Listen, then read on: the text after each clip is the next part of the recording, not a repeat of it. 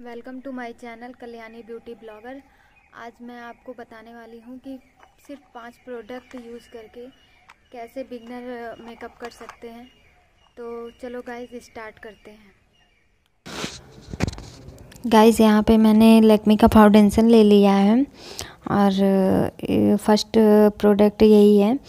और मैं इसको डैप डैप करके अपने फेस पे लगा लूँगी।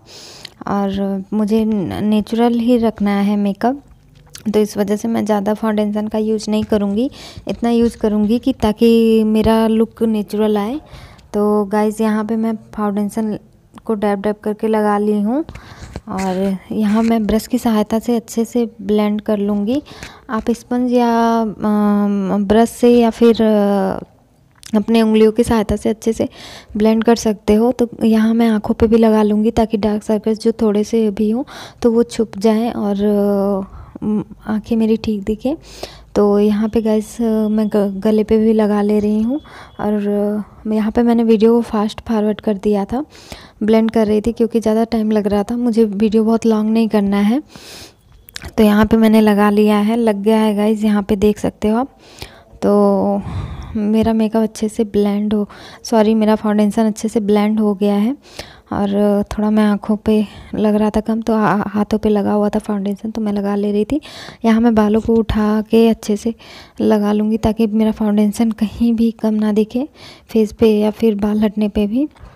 तो गाइस आप अच्छे से फाउंडेशन को ब्लेंड करें, अच्छे से लगाएँ। तो यहाँ पे फाउंडेशन डन हो गया है मेरा। तो फिर यहाँ पे मैं लगा लैक्मी का फेस पाउडर ले ली हूँ। उसको मैं अच्छे से उस पर सेट कर दूँगी ताकि मेरा फाउंडेशन सेट हो जाए। इसको भी मैं राउंड राउंड सेप करके लगाऊँगी। फाउंडेशन को हमेशा राउंड सेट करके, सेप करके लगाओ। और यहाँ पे भी फेस पाउडर को मैं राउंड सेट कर, करके लगा ले रही हूँ ब्रश की सहायता से। और थोड़ा सा कानों पे और हर जगह मतलब कि फेस पे मैं लगा ले रही हूँ फेस पाउडर। तो आप देख रहे हो मैं कितने अच्छे से मिला रही हूँ गाइस तो आप अच्छे से मिलाओ। यहाँ पे मैंने वीडियो को जैसा कि आपको पता है फास्ट फॉरवर्ड कर दी हूँ। तो आप इतना माइंड मत करना। तो गाइस यहाँ पे मेरा ऑलमोस्ट डन हो गया है फेस पाउडर भी। तो फिर मैं यहाँ पे ले ले रही हूँ लिपस्टिक जो कि मास्क का है। आ, ये मैंने बहुत ही कम प्राइस में लिया था। अच्छे प्राइस में मिल गया था। तो गाइज़ यहाँ पे मैं आई का भी थोड़ा सा आई के लिए भी लिपस्टिक का ही यूज़ करूँगी। पाँच प्रोडक्ट यूज़ करने हैं मुझे। तो पाँच प्रोडक्ट में मुझे मेकअप डन करना है। तो गाइज़ यहाँ पे देख रहे हो, आगे की तरफ़ थोड़ा कम और पीछे की तरफ़ मैं थोड़ा सा ज़्यादा करूँगी। पीछे मैं डब डब करके लगा ले रही हूँ, थोड़ा डार्क लगे और आगे की तरफ़ आई शेडो थोड़ा कम हो। तो गाइज़ यहाँ पे इस वाले आँख में भी मैं ऐसे ही सेम ही करूँगी और, ताकि पिंकी पिंकी लगे और डार्क सर्कल्स भी छुप जाएँ। तो गाइज़ यहाँ पे देख रहे हो आप मैं अच्छे से ब्लेंड कर रही हूँ उंगलियों की सहायता से।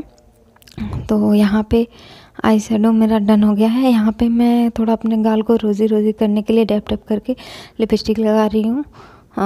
तो गाइस देखो यहाँ पे मैं लगा ले रही हूँ। दो तरीके होते हैं आप या तो ऐसे करके आ, आ, अपने जैसे चिक पे रोज़ी कर सकते हो या लिपस्टिक लगाए हो तो ऐसे मिला सकते हो।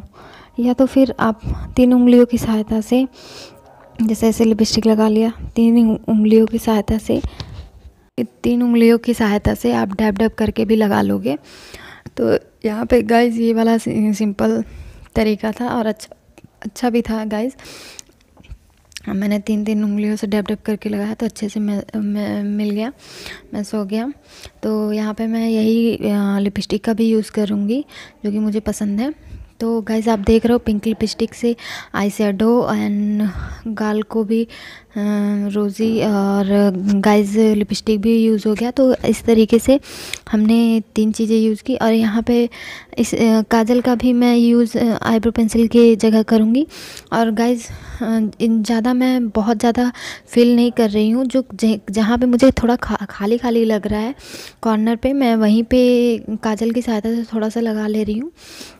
ताकि मेरा आईब्रो सेट हो जाए और आलमोस्ट मेरे आईब्रो बने हुए हैं अच्छे से।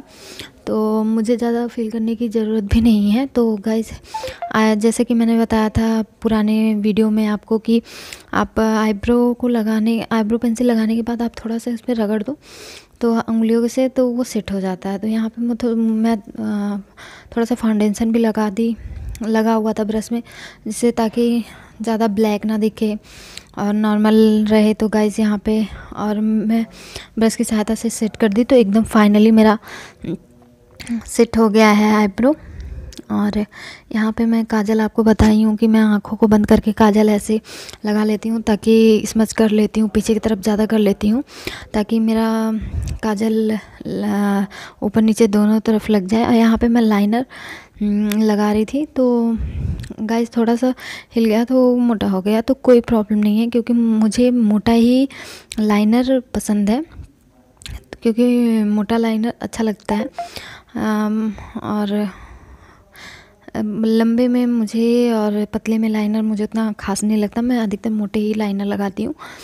तो यहाँ पे इस वाले आँख में भी मैं ऐसे पकड़ के आप लगाओ तो काफ़ी आसानी से लग जाएँगे।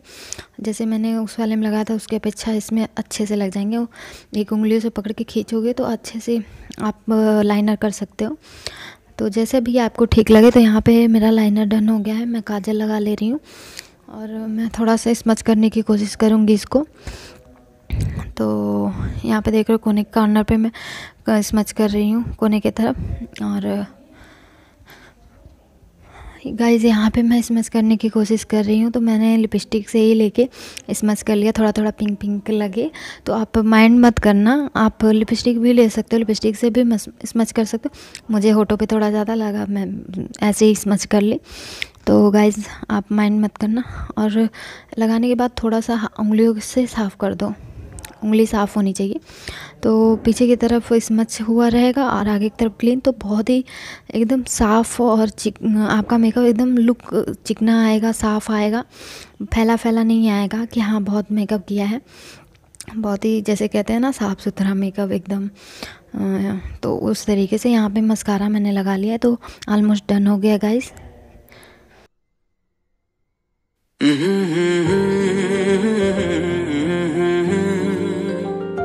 हुए बेचैन पहली बार हमने राज ये जाना।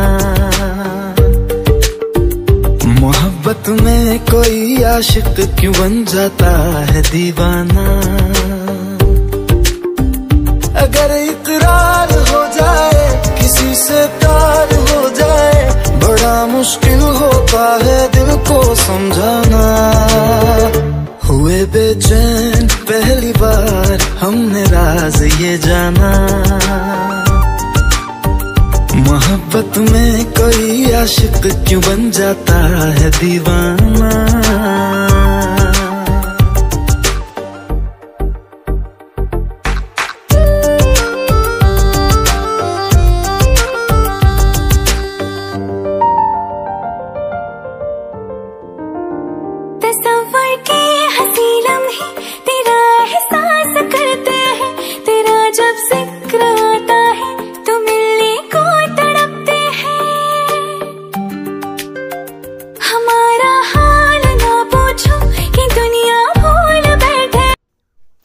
आपने ये मेरा ये लुक देख लिया गाइस तो इसी के साथ मैं करती हूँ ब्लॉग का इन बाय